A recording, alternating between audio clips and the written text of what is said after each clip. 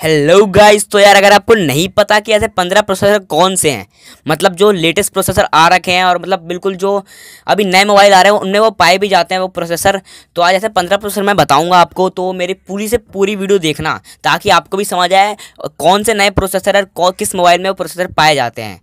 इसी के साथ मेरे चैनल को भी सब्सक्राइब कर लेना, ताकि आने वाली मेरी सारी नई वीडियो सबसे पहले आपके पास पहुँच जाए। दोस्तों स्नैपड्रैगन 730 जी आपको मिलता है फिफ्टीन रैंक पे और ये प्रोसेसर आपको मिलता है Oppo Reno three Vitality mobile में।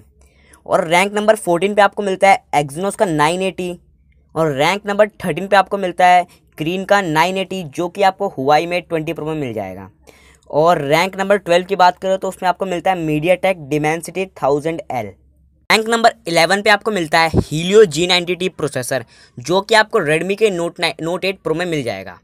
और रैंक नंबर टेन पे मिलता है एक्जीनोस का nine eight two five processor जो कि आपको Samsung Galaxy Note ten plus में मिल जाएगा। और रैंक नाइन में मिलता है क्रीन का नाइन नाइन्टी फोर जी जो कि आपको Huawei Mate thirty Pro four G में मिल जाएगा। रैंक एट पे मिलता है आपको क्रीन का nine ninety five G nine में फोर जी मिल रहा था, लेकिन एट नंबर पे आपको मिलता है फाइव जी जो कि आपको Huawei Mate thirty Pro five G में मिल जाएगा। और रैंक सेवन की बात करें, इसमें मिलता है आपको स्नैपड्रैगन 855 का प्रोसेसर जो कि आपको वन प्लस सेवन प्रो में मिल जाएगा।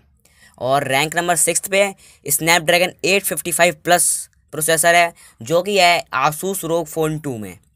और रैंक नंबर फिफ्थ हमने रखा है Apple A twelve Bionic iPhone XS Max में आपको मिल जाएगा प्रोसेसर और रैंक नंबर फोर्थ पे हमने रखा है मीडिया टेक डिमेंसिटी थाउज़ेंड और रैंक नंबर थ्री पे हमने रखा है एक्जीनोस का 990 वाला प्रोसेसर जो कि आपको Samsung Galaxy S twenty Ultra में मिलता है। और रैंक नंबर टू पे हमने रखा है Samsung Snapdragon 865 Samsung Galaxy S twenty Ultra में आपको मिलता है ये, जो कि यूएस वाला वेरिएंट है। और फ़र्स्ट नंबर पर हमने रखा है एप्पल का ए थर्टीन बियोनिक चिक जो कि एप्पल आईफोन 11 में मिलता है आपको।